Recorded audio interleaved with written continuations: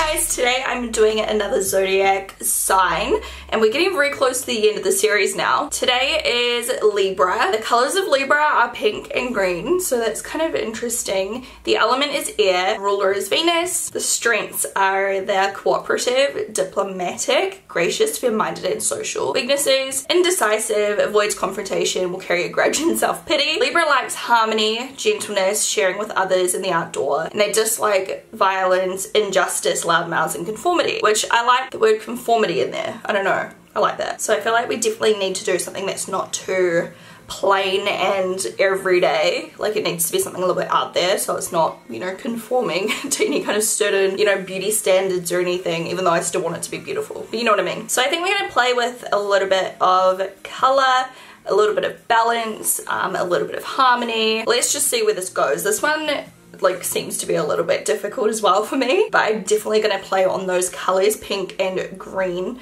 um, and we'll just see where this goes. To prime I'm going to use like a moisturizer instead of a primer. This is called Feeling Younger Skin Tint by Lush and it's just like a pearly kind of like um, moisturizing product just because I want my skin to be nice and hydrated and glowy. I've never actually tried this properly before I don't think. Oh it's expired. Huh classic. My skin, I don't really know like if I'm going matte or dewy. Obviously my preference is dewy. I don't really know what's going to suit a Libra. So I'm going to use my Clinique Beyond Perfecting. I like to mix the shade Sesame and the shade Breeze. Um, just to create like my perfect shade actually. Sesame might be okay today by itself because I am fake tanned. And I'm going to use my sponge as always. Well, not as always, but as most of the time because it's my current favourite way to blend out foundation.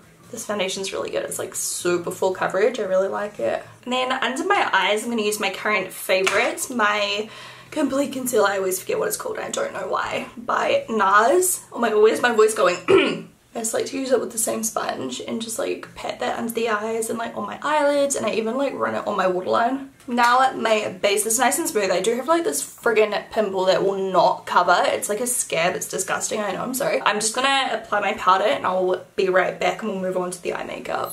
Okay, I just flipped on my eyebrows with my Ka-Brow and going to apply some Gimme Brow quickly. I feel like this eyebrow went real arched compared to normal. I'm not quite sure how that happened. it's fine. Oh no, what the heck? How did that happen? And then I'm just going to prime my lids. I'm using my Smashbox lid primer. I've got a kind of idea of what I want to do. I'm thinking of doing it pink and green on my eyes, which I know is very outrageous, but let's just roll with it and see what happens. Oh my god, my brush is like so caked with makeup. I need to wash it. I have not washed this in a while. It makes blending so much harder. I have this Emerald Obsessions palette is this too green? Like, I don't know. I'm gonna start with the color in this corner, this like kind of greyish, greenish tone neutrally. I don't even know what that is. That one. My brush looks bright pink. God knows what I was using, but I've washed this brush literally probably like six times since whatever that was and it's just stained forever. It's like, these never usually stain and I don't know what it was. Like I don't know what caused that. Anyway, this is a firm blender brush, so I'm just going to start by like kind of putting it into the crease. I'm just kind of like placing the colour and slightly blending it. I'm going to blend it out more soon. It's quite a full-on colour to go in like straight away. Usually I start with like a lighter colour but I just want to see if I can just use this palette. So just like placing and then I'm kind of like wiggling around the edges just to start like buffing it up nicely. Oh, I feel like I'm so dark. Is that better? now I'm going to take this really light like kind of neon greenish aqua colour. My colour describing skills are on point today aren't they? I'm just going to kind of like put this on the front part of the crease in here somewhere. I'm gonna attempt to like cut my crease a little in that inner corner, like inner half of my eye. And I'm gonna like put a really bright green on top of this or like a shimmery one. There's one in the palette that I'm kind of like eyeing up. So I've just taken that first colour I used in my crease and just kind of like popped that all in the outer half of my eyelid. And then I'm going to apply, like I said, a really nice shimmery brighter green. I'm trying to keep this quite like I don't know, like pretty still, even though it's non-conforming, like it's a little bit different. I still want it to look harmonious, you know? So the colour, oh god, I'm nervous. I think I'm gonna go for this colour because it's bright, but it's still light. It's not too intense, hopefully. I don't know. Look at that shimmer. It looks so pretty. And that's to go on top of the base. I've just wet my brush and I'm going to apply it with a pencil brush just to like really get in there. Hopefully make it really pop. Can you focus on me please? Thank you. This colour is so pretty. And then just kind of like attempting to blend it into that darker colour as I get to this outer part of the eye. Just a little like that ish. I'm so stressed. Green is like so full on. Okay, now it's on. I'm very happy. I reckon this looks good. I'm just going to go in with this really dark shimmery green just to kind of like help that transition a little. I don't want to like apply too much of this colour because I really like the way it's looking. I just feel like it needs a little bit of help blending together. Oh, that's glam. Okay, I definitely want to do something on the bottom. I'm just not quite sure what yet. So I'm going to finish off um, my face makeup and then do my lashes and liner because the liner is what's going to set it up. I'm going to use like this bright pink one. I have no idea if it's going to look good or not but we're going for it. So first I'm just going to use some of this TruBlend bronzer in bronze by CoverGirl. I'm using it on a jumbo face brush. And I'm just going to apply that to my actual cheeks. I'm not contouring with this because it's like very shimmery. It's almost like a highlighter. But I love the glow it gives you. It's like a JLo glow. Like it gives you that super bronze shiny kind of look. Just a little bit around my temples and hairline. And then to contour, I'm going to use my Pro Glow palette. I haven't used this in a while. With a domed contour brush. Of course, that's just going under the cheekbones. And then I'm going to go ahead and highlight right now. I'm going to use the Soph highlighter palette again because I really liked it last time I used it. Um, and I'm going to use the pale golden shade, I think, because it'll suit the eye makeup. These are like super intense, but what I'm going for. Like, look at that. It's so full on. I recommend using a dense brush so that they blend in really nicely because they are so bright. And then now that all those face products are kind of on, oh, I feel like this is too bright again.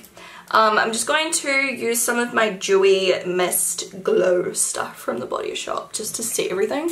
Oh, it's so full on though. But it just makes your skin look so glowy and like incredible. Back to the eyes quickly. I'm going to start with black eyeliner and then I'm going to do the pink afterwards. I feel like this is risky. I'm just going to use my Tarteist um, dual ended liner and do a wing.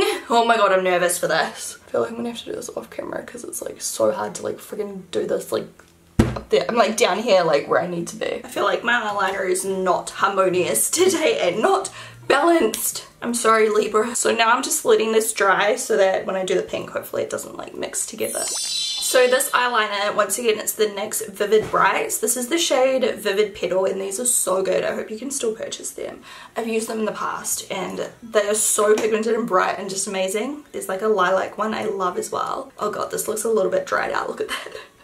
it's all crusty, oh no. Hopefully we can make this work because it's like the most beautiful colour and I think it'll look cool with the green like because it's a little bit like pastel. So I'm gonna just do my best this formula is looking a bit chunky. It's definitely quite old, this product. I've had it in my collection for a few months and I think it's just drying out. So I'm just going to do a line across the top. Once again, I'm probably going to have to vanish for this because it's going to be too hard to do like on camera. But just like above the top like this. I'm going to try and keep it thin. Let's see how we go. Yeah, The liner is not perfect but this is perfect as I'm gonna get because it is so dried out. I like really underestimated that. Like that was difficult to use. So that is going straight in the bin now. Now under the eyes before I do my mascara and everything, I think I'm just gonna take a little bit of that same first color, the dark color. I actually really like it. Um, and I'm just going to buff that straight underneath. In my waterline, I'm going to use a dark green um, eyeliner. I don't know what I was about to say. This is called Wooden Metal Metallic by Makeup Store, I think. Oh god, this is like not even working. What is going on with my makeup today? I'm getting mail. And then I'm going to go back in with my little highlight palette in the gold once more. I'm going to use this on my highlight, I mean my highlight, my brow bone. I'm just using it with a pencil brush. And also my inner corner. It's actually annoying me so much how like wobbly my eyeliner is. Ugh. Anyways, um, I'm going to use my NARS mascara today and then apply some falsies to hopefully like disguise the eyeliner a little bit because it's just bugging me. I do love the colour contrast though. It's very non-conforming, right? I love the green tones so I'm glad um, you know, the Libra colours kind of pushed me out of my comfort zone, I guess. Like, I do love green, but like, I don't know it just scared me a little when thinking about it with pink, but I really wanted to challenge myself. Okay, so the mascara is on and now I'm going to use a pair of the Wanderlust Lashes by XO Beauty and I'll be right back. Okay, so the lashes are on. This eye is bloodshot because I literally just stared myself in the eye so hard. My eye would not stop watering. it's okay. It's turning out to be a little bit of like one of those days, you know, where everything just seems to be going wrong. That can go wrong, but that's fine. It's coming through. I think today I want to do, oh my god, got like fallout too. Where did you come from? Whatever. Um, I'm going to do some lips to kind of match the eyeliner to keep it all balanced and harmonious, you know? I'm going to use Shannon Lip Pencil by XO Beauty. It's like a super like hot, hot pink as you can see. It's like the brightest thing ever. And then on top of this, I'm going to put a little bit of Sweet Experience by MAC. It's quite fun. So there we have it. I don't know if you guys will agree with my interpretation. Definitely didn't want to do anything boring because it does say non-conforming. It's still balanced and harmonious. Like it still works together. It's just like a little bit different. Oh my god, this freaking eyeliner though. It's like all cracking. Ugh like this side turned out a little bit better but still I feel kind of Barbie-ish in this makeup as well it's very different so yeah, this one was definitely another hard one. I feel like some signs are so easy to interpret, like Leo, like it's so like you know, stereotypical and everything. Whereas some of these signs when it comes to makeup, like trying to like make them work, it's just like, what do I do? And this was another one, just like the previous video, which I'll link down below. But I did have a lot of fun creating this. I think it would look really cool as well if it was neutral. Like neutral with pink liner and pink lips would look epic. But yeah, that is my look today. Thank you guys so much for watching and don't forget to hit the thumbs up button. I'm excited for my next one. I think there's only one or two more star sign videos to go. So once again, if you do have any recommendations for series, leave them below because I still have not like decided what I want to do. I'm really nervous. Like I'm just so confused. I just don't know. That's that. I hope you guys have a fantastic day and I'll talk to you guys tomorrow. Bye.